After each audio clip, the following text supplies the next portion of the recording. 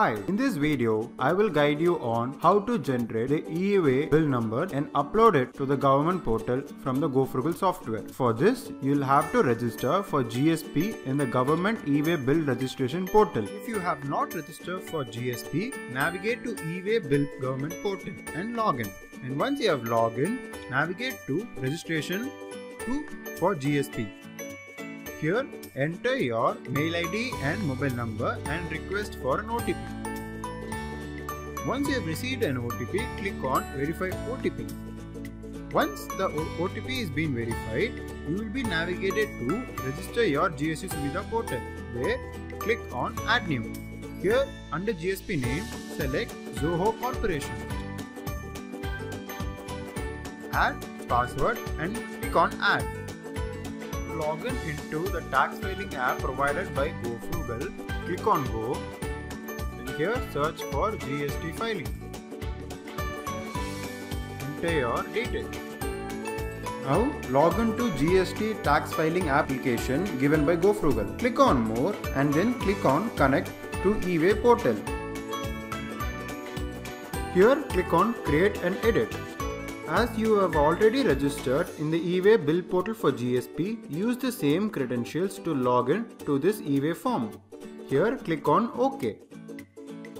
After a successful registration in the tax filing application provided by GoFrugal, now I'll guide you on how to generate the eWay bill from the software. For that, first we'll have to put a sales bill.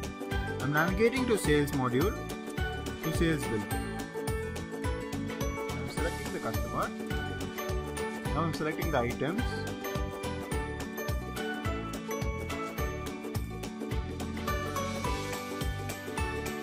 An eWay bill should be generated for bills above 50,000. Here the bill is above 50,000. I'm saving it. Now to generate the eWay bill, I'm navigating to sales to dispatch. Here first make sure that the eWay generation mode is kept as automatic. Now click on F2 filter and choose the bill number. Here click on spacebar to select it and navigate to the last column and enter the distance.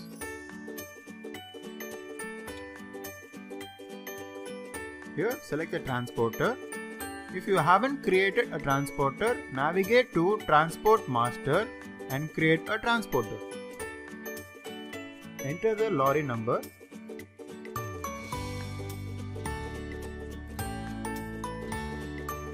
Enter the number of cases and the weight.